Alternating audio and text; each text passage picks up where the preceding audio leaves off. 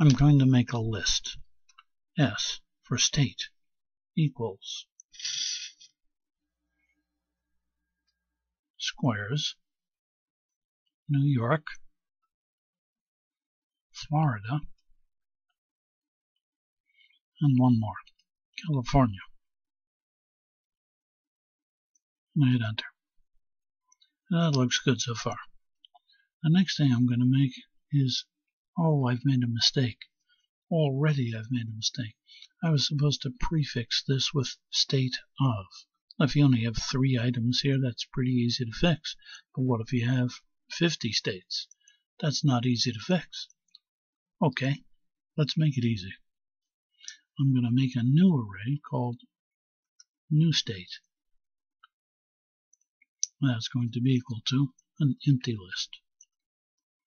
The next thing I'm going to do is create a loop for x in S, that's that New York, Florida, California list. Backspace, 1, 2, 3, 4. I want you to do the following. For each x, walk through this list one at a time, put each value into x, first this one, then this one, then this one.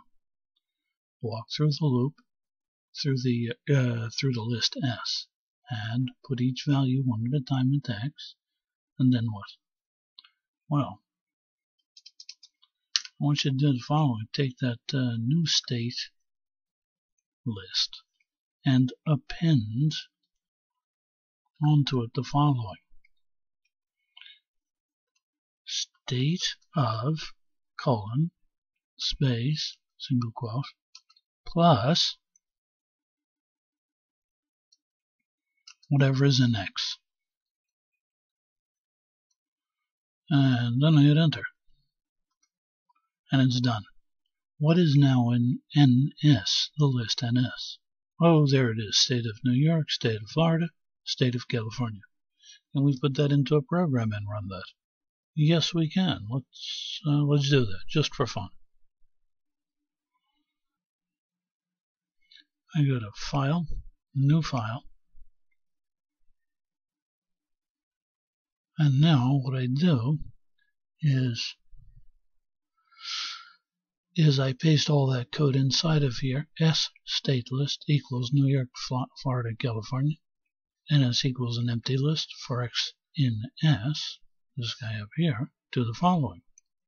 In each loop, go through that first loop and ns.append state of plus X.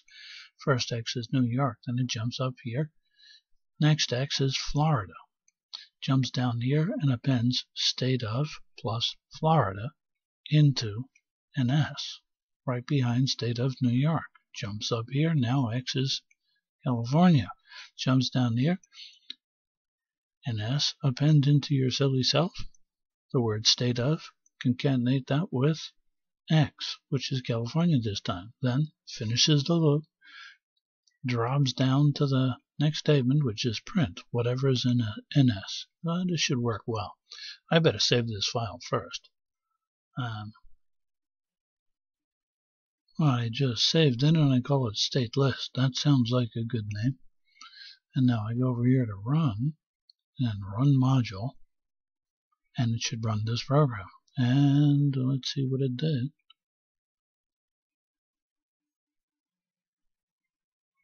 Uh, I'll just hit the enter key a few times so you can see the output, and there it is. State of New York, State of Florida, State of California, all in the NS module. Wow. This is George Boole. Please share and rate this video. That means click on the like button. And I wish you lots of luck. Bye bye now.